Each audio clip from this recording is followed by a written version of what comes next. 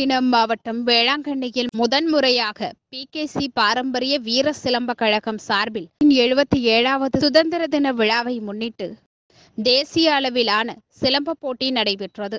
இதில் junior sub junior senior உள்ளிட்ட பிரிவுகளின் கீழ் நடைபெற்ற இந்த போட்டியில் தமிழ்நாடு கேரளா பாண்டிச்சேரி உள்ளிட்ட பல்வேறு பகுதிகளில் இருந்து வந்த ஆயிரத்து ஐநூறுக்கும் மேற்பட்ட மாணவர்கள் கலந்து கொண்டனர்.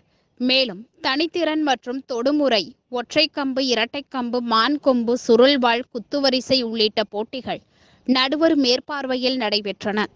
இதில் ஏராளமான சிறுவர்கள் உட்பட பலர் பங்கேற்று தங்களது திறமையை வெளிப்படுத்தினர். தொடர்ந்து போட்டிகளில் வெற்றி பெறும் மாணவர்களுக்கு பரிசுகள் வழங்கப்பட்டு சர்வதேச அளவில் நடைபெறும் சிலம்பாட்ட போட்டிகளுக்கு அவர்கள் தகுதி பெறுவது குறிப்பிடத்தக்கதாகும். நிகழ்ச்சியின் இறுதியில் பங்கேற்ற அனைத்து மாணவர்களுக்கும் பாராட்டு சான்றிதழ் கேடயம் வழங்கப்பட்டது.